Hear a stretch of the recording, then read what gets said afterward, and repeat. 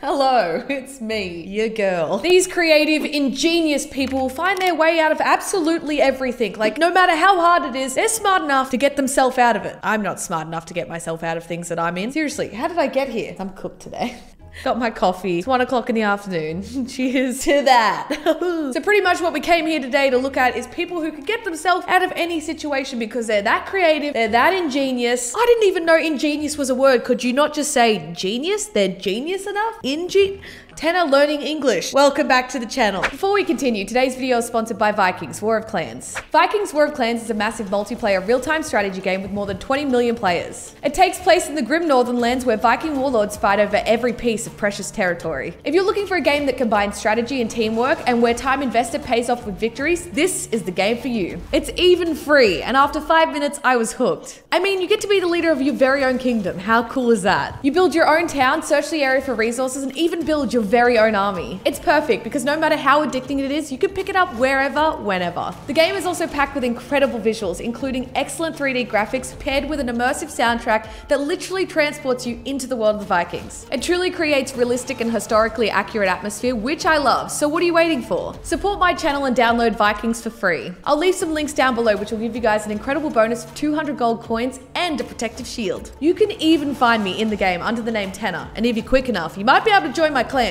Thanks again to Vikings War of Clans for sponsoring today's video. Now let's get into it. When you don't have enough whipped cream, it's like, okay, so clearly we have a nice tasty pie. Yes, of course, I'm gonna talk about how I'm hungry now. I haven't had lunch, okay? Times are tough. And you've run out of whipped cream. You're halfway through, you're enjoying it, and it's going shh. Oh, shh. I ran out of whipped cream because I ate it all in the middle of the night when I was crying myself to sleep. I mean, what? So, what do you do in this situation? What would you do? What would I do? Listen, I would probably just admit to everyone that I'm dying of crippling depression and call it a day. But no, this smart person has put a car on the pie. Is that sanitary? You know, the car's doing a burnout, and the burnout is whipped cream. Me as a parent. Me as a parent? Can you imagine me as a parent? Today's Wi-Fi password can be unlocked by texting a photo of a clean kitchen to mum. Damn, that's actually kind of smart. Said photograph must contain one box of crackers on the counter by the stove to prevent the reusing of photos. Dude, this is smart. This is 1000 IQ parenting right here. Thank you for playing. May the odds be ever in your favor. Love, mum. But that is just straight up clever. It's like, if you clean the kitchen, then I'll give you the Wi-Fi password. Imagine that changing it constantly just to spite your children. I love it. It's smart. It's ingenious. So clearly this little kid has like bumped their head. Is it just me or does every child bump their head? I have a scar on my head. I know Ilsa has a scar on her head. Is it just normal for kids to just go head first into something? So he's got like a big red mark. He looks upset. He looks a little bit like, oh, this is embarrassing. But the mother, I'm assuming it's a mother, a friend, a family member. I don't know who this person is. They've decided to just get a red marker and make this little kid Harry Potter. No longer is he embarrassed because he hit his head. He's Harry Potter. Look at him. He's just the cutest thing ever. He's gone from being an embarrassed child who's hit his head to Harry Potter. I don't know why I did that. Harry Potter. Oh, now this. I am impressed. I'm not gonna lie. Clearly their homework is needing a parent's signature. So pretty much he's just written mum or she's just written that. It's 2019. I don't want to assume the gender of the person that wrote it, but wrote it, wrote it, wrote it. I didn't go to school. Anyways, wow, this coffee's really kicking in. What do you actually do when you're a teacher and you see something like that? Do you let it slide? Like they've literally just written mum in clearly children's handwriting. Because if that's your mum's signature, she does need to go back to school. Please, somebody tell her. Actually, my handwriting's probably like that. Let's be real. Let's see you little punks smash my mailbox now. So for some reason, there is like this big trend about ruining people's mailboxes, whether it's with a bat or with a leg or an arm or whatever. People like smashing mailboxes. I don't get it. Each to their own. But this person has thousand IQ'd it. What they've done is they've got their mailbox in the middle and then they've put concrete around it, which means if they're hitting it with a bat, which probably wouldn't hurt so much, but if they're punching it, kicking it, it's gonna hurt. It's gonna break some bones. I sound like I'm selling something. Hashtag mailbox, hashtag ad. Have you ever been traveling with pizza on a long drive home and you wonder, you're like, my pizza's gonna get cold. That's not what we want. That's not what we want at all. Well, haven't I got a life hack for you? If you want to keep your pizza hot, put the pizza on the front seat, turn the car heaters on. Do you think that that's hot enough to actually heat the pizza? I mean, it's not gonna get colder. So that's a plus. Why have I never thought about this before? All those pizzas that I've eaten that have been cold because I've traveled with them, all I had to do was just turn on the heater in the car. See, this one to me is so random. This man didn't like the price for extra cheese at his local burger joint, so he brought his own cheese slices. I kind of relate to it. I kind of feel like I would do something like that when it's too expensive to get extra cheese, so you bring your own cheese from home. So extra. I love it though. I kind of, I kind of really love it. I, I, I really do. He just looks so proud of himself. He's like, yeah, I got like three slices of cheese in my cap. I'll sell you some for a good price. It'll be cheaper than this burger joint. I'll tell you that much. Imagine if he just became a cheese dealer. Like this man's right here, just hiding cheese in his hat, serving it to the customers for a very cheap,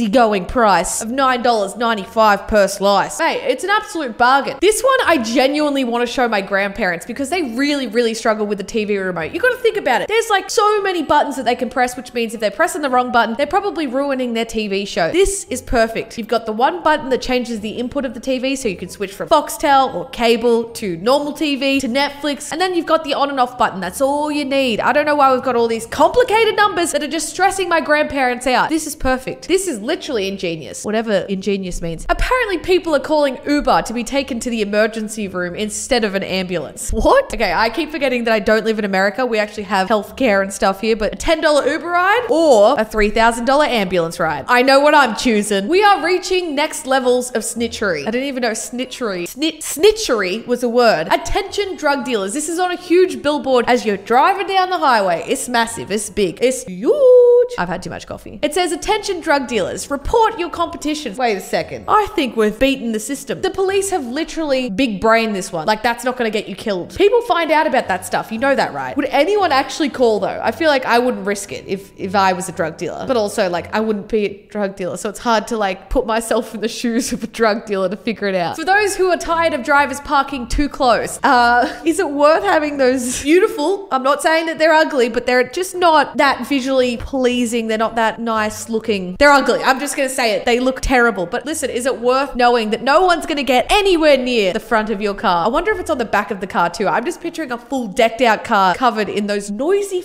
fucking chickens. Also, how many times has this car been run into for something in them to just snap? What happened to you for this to happen? What went wrong in your life? Are you okay? Oh my god, you're kidding. I aged a couple of years today when I found out if you hold down zero on your keyboard, you get the degree sign. I have always looked for that symbol. And do you want to know what I do when I need that symbol? I Google it. I literally Google it and then copy and paste it. I'm a fucking idiot. All right, ready? Let's get a Word document up in here. Ready?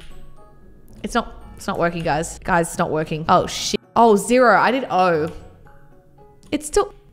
Okay, I got lied to. I repeat, I got lied to. I feel like these people are making light of a bad situation. This man's has broken his phone, just right in the corner, right on the edge there. So what does he do? He changes his background to make it look like there is some.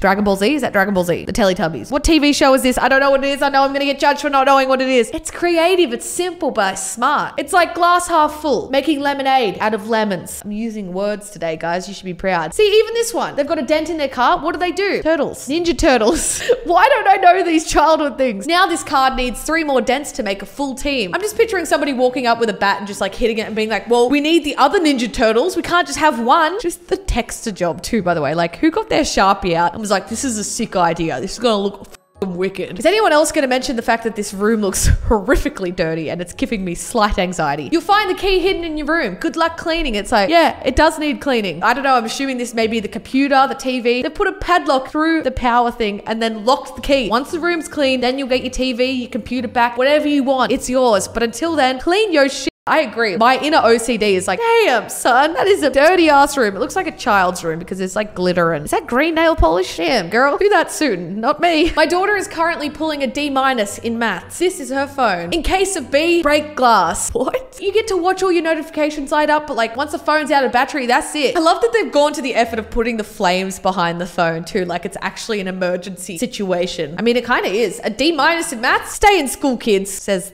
the high school dropout. I literally didn't even know that you could get banana hangers. A banana keeper. Bananas ripen evenly. $2.87 headset hanger that turns into a banana keeper. Or is it a banana keeper that turns into a headset hanger?